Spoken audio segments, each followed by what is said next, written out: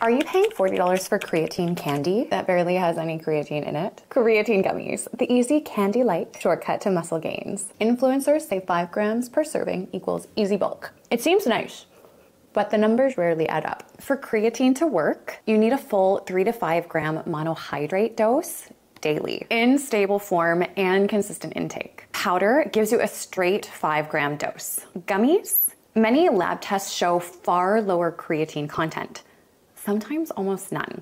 A powder stays stable, but a gummy goes through heat, acid, moisture, which is not ideal for creatine. To hit five grams with gummies, you might need four to six pieces a day, which, though that might be tasty, can also be pricey and impractical. Powder, one scoop and you're done. More affordable, more reliable, more muscle sincerity. The bottom line is that creatine works, and gummies work if they're legit. So always do what works best for you. Just understand the science.